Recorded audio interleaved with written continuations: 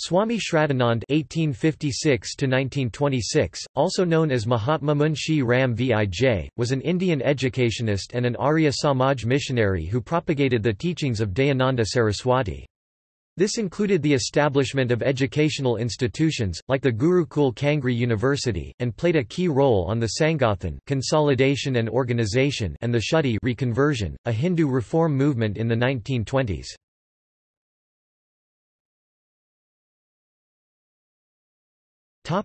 Early life and education He was born on the 22nd of February 1856 in the village of Talwan in the Jalandhar district of the Punjab province of India. He was the youngest child in the family of Lala Nanak Chand, who was a police inspector in the United Provinces now Uttar Pradesh, then administered by the Honourable East India Company.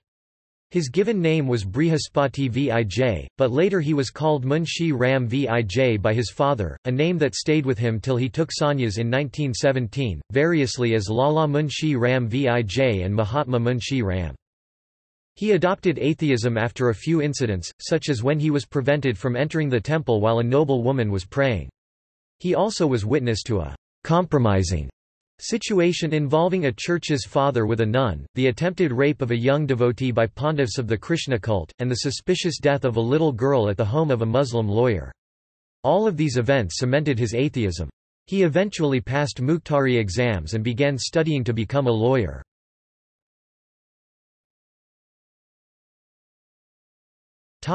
Meeting Dayanand He first met Dayanand Saraswati when Dayanand visited Bareilly to give lectures. His father was handling arrangements and security at the events, due to the attendance of some prominent personalities and British officers. Munshiram attend the lectures at his father's request. He originally went with the intent of spoiling the arrangements, then claimed to be strongly influenced by Dayanand's courage, skill, and strong personality. After completing his studies Munshiram started his practice as lawyer.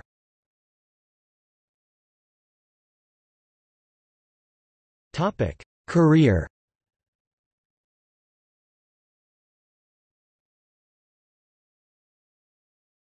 Topic: Schools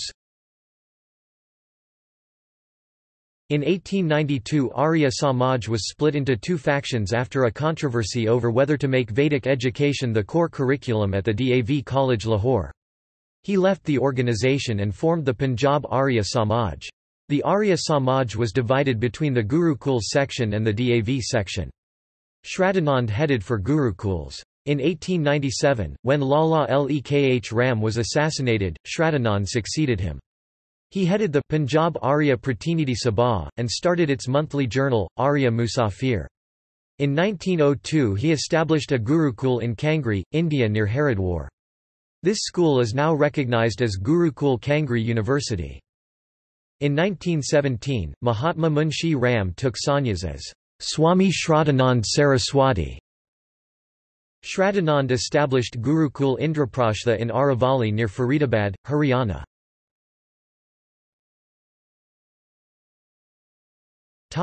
Activism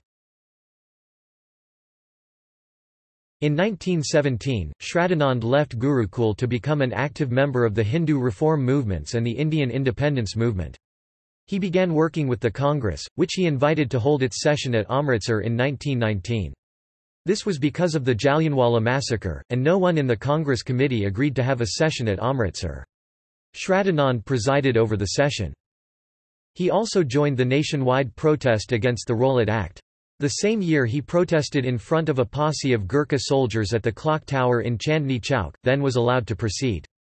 In the early 1920s he emerged as an important force in the Hindu Sangathan consolidation movement, which was a byproduct of the now revitalized Hindu Mahasabha. Swami Shraddhanand was the only Hindu sannyasi who addressed a huge gathering from the minarets of the main Jama Masjid New Delhi, for national solidarity and Vedic Dharma starting his speech with the recitation of Ved mantras. He wrote on religious issues in both Hindi and Urdu. He published newspapers in the two languages as well. He promoted Hindi in the Devanagari script, helped the poor and promoted the education of women. By 1923, he left the social arena and plunged wholeheartedly into his earlier work of the Shuddhi movement reconversion to Hinduism, which he turned into an important force within Hinduism. In late 1923, he became the president of Bhartiya Hindu Shuddhi Sabha, created with an aim of reconverting Muslims, specifically Malkana Rajputs in the western United Province. This brought him into direct confrontation with Muslim clerics and leaders of the time.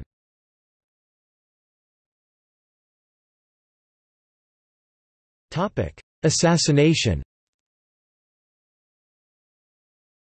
On 23 December 1926 he was assassinated by a Muslim named Abdul Rashid, who entered his home at Naya Bazar, Delhi, by posing as a visitor. Upon his death, Gandhi moved a condolence motion at the Guwahati session of the Congress on 25 December 1926. An excerpt from the speech in relevant part reads, if you hold dear the memory of Swami Shraddhanandji, you would help in purging the atmosphere of mutual hatred and calumny. You would help in boycotting papers which foment hatred and spread misrepresentation. I am sure that India would lose nothing if 90% of the papers were to cease today. Now you will perhaps understand why I have called Abdul Rashid a brother and I repeat it. I do not even regard him as guilty of Swamiji's murder. Guilty indeed are all those who excited feelings of hatred against one another. For us Hindus the Gita enjoins on us the lesson of equi-mindedness, we are to cherish the same feelings towards a learned Brahmin as towards a chandala, a dog, a cow or an elephant. Today, the Swami Shraddhanand Kaksha at the Archaeological Museum of the Gurukul Kangri University in Haridwar houses a photographic journey of his life. A statue of him was placed in front of Delhi Town Hall after independence, replacing a statue of Queen Victoria. This location in Old Delhi is termed Ghantaghar because the old clock tower stood here until the 1950s.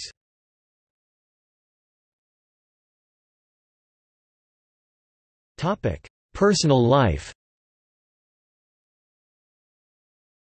Shraddhanand and his wife Shiwa Devi had two sons and two daughters. His wife died when Shraddhanand was only 35 years old. His granddaughter Satyavati was a prominent opponent of the British rule in India.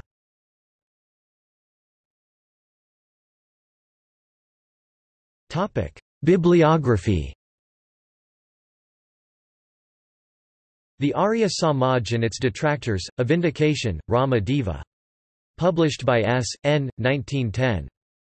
Hindu Sangathan, Savior of the Dying Race, published by S. N. 1924. Inside Congress, by Swami Shraddhanand, compiled by Purushottama Ramachandra Lele.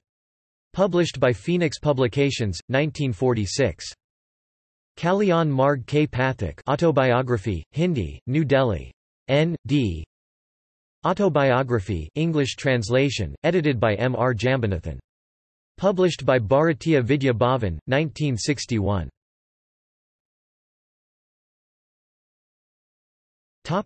Further reading Swami Shraddhanand, by Satyadev Vidyalankar, ed., by Indra Vidyavachaspati. Delhi, 1933.